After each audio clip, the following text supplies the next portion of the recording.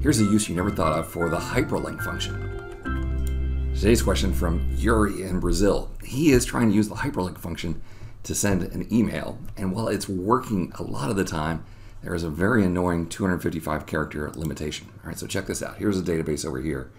People who uh, have overdue invoices, we know, you know, how many days late they are, and we put together a nice little uh, email here. You know, dear so and so, courtesy reminder that your account is blank days overdue. Please remit this amount at your convenience.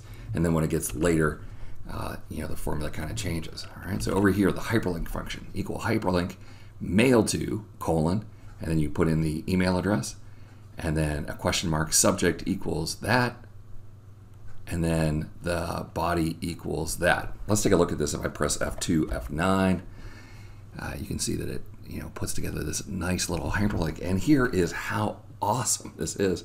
So I have to send these 20 some emails, right? I just click, and even though I'm using Gmail, it just opens, right? It's just beautiful. Click send, and then come back, and the next one, you know, I'll be able to send these these 25 in minutes instead of 25 minutes. But ah, here's the limitation.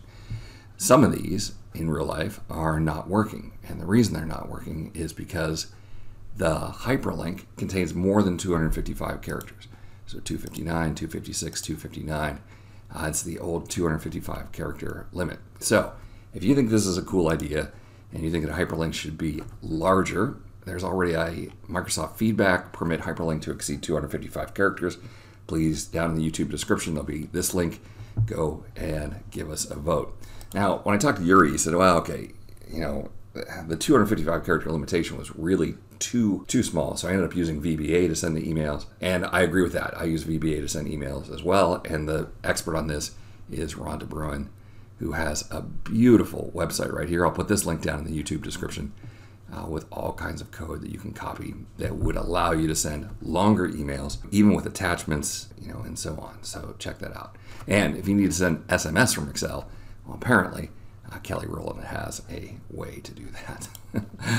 well, look, I want to thank Yure for sending that great question, and I want to thank you, especially if you want to have voted. We'll see you next time for another netcast from Mr. Excel.